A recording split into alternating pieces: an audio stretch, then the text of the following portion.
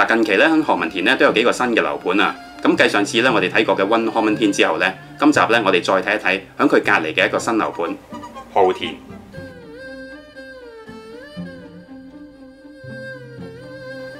浩田咧有成九座咁多，屬於何文田區裏面咧近期一個大型嘅新樓盤啊。單位咧有成近千四個，嗱每座大廈咧大約樓高咧廿一至廿三層。嗱根據網上嗰啲資料所講咧，預計要二零一七年嘅年尾咧就入伙啦。嗱佢喺常盛街嘅廿八號，佢同我上一集分析過另外一個新樓盤 One Common 天，只係一街之隔。嗱隔咗嘅咧就係呢條常富街啦。嗱呢條常富街咧係一條雙線上落嘅斜路嚟㗎。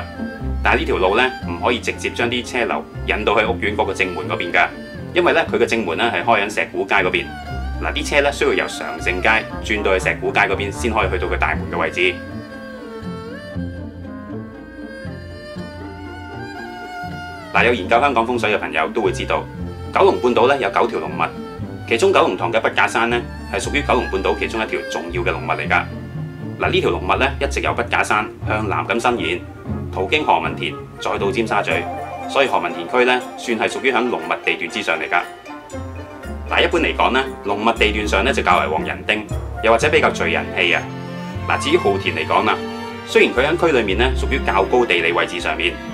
但係佢成個屋苑嘅背脊嗰邊咧都仲有一個何文田配水庫嘅山坡做咗個靠山，所以整體個屋苑咧都係以受山氣為主，亦即係受龍氣咧就更加明顯同埋更加強啦。嗱，如果以屋苑嘅大門做主要嘅立氣位嘅話，得出成個屋苑呢係坐東南向西北，係屬於上山下水嘅線道。嗱，喺呢個線道嚟講呢，唔算係一個好嘅坐向嚟㗎，因為咧風水數理上嘅財星同埋人丁星咧唔算配合。要平衡同埋補救翻嘅話咧，除非正門呢邊可以見到有較高嘅建築物，另外啦背脊嗰邊咧反而要見到水，尤其是係真水或者係凍水，咁樣咧就可以做到嗰個風水上稱為倒騎龍嘅格局。變相咧可以做翻一個補救同埋平衡嘅功效啦。嗱，唔知浩田起嘅時候咧，發展商有冇參考過風水嘅概念嚟設計？嗱，大家而家見到呢個屋苑喺設計上面咧，背後嘅位置，亦即係內園嗰邊咧，有一個室外嘅泳池。呢個泳池咧，唔止可以幫第六至到第十座營造咗一個明堂之外，而且呢個見到真水嘅泳池咧，設計上咧亦都有助咧做翻一個頭先我講嘅倒騎龍佈局，補救翻咧上山下水嗰個問題啦。